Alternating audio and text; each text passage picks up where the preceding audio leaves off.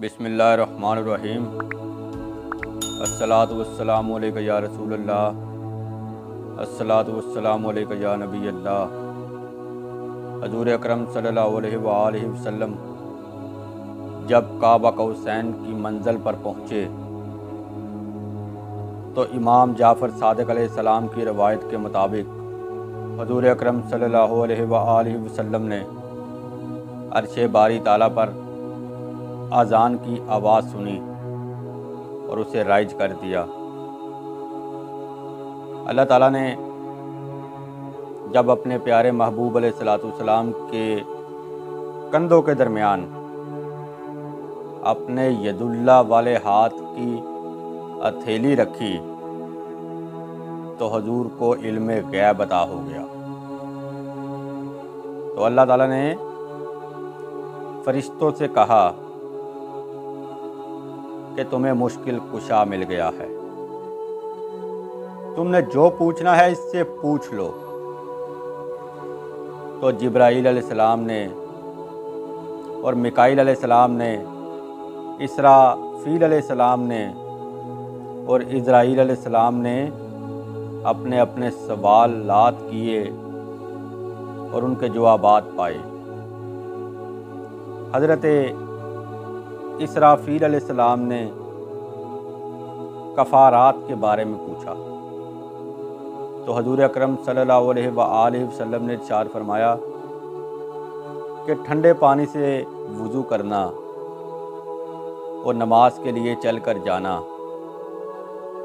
और एक नमाज़ पढ़ने के बाद दूसरी नमाज़ का इंतज़ार करना, ये कफ़ारात है। फिर जबरील अमीन ने सवाल किया कि हजूर मंजियात, यानी कि नजात देने वाली कौन सी चीज़ है? तो आपने जवाब दिया कि पोशीदा तौर पर और एलानिया तौर पर अल्लाह ताला का डर रखना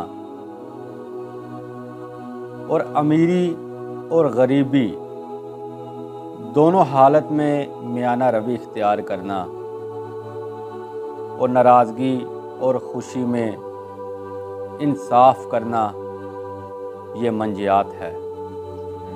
फिर मिकाइल सलाम ने दर्जात बुलंद करने के बारे में पूछा।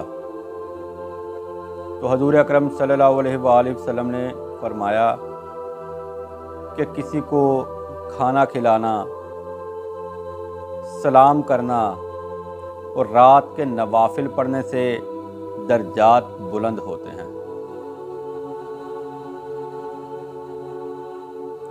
फिर हज़रत इसराइल सलाम ने सवाल किया कि हजूर, मोहलकात, यानी कि मोहलक, मारने वाली अशिया क्या हैं? तो हजूर ने फरमाया कि कंजूसी नफ्स की पैरवरी करना और अपने आप को सबसे ज़्यादा नेक समझना, ये मोहलकात कहलाता है।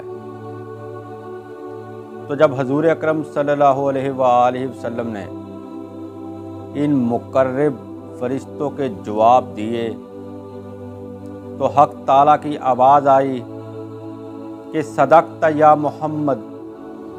ए मोहम्मद सल्लल्लाहु अलैहि वसल्लम, आपने सच फरमाया है। वमा अलैना इल्लल बलाउल मुबीन।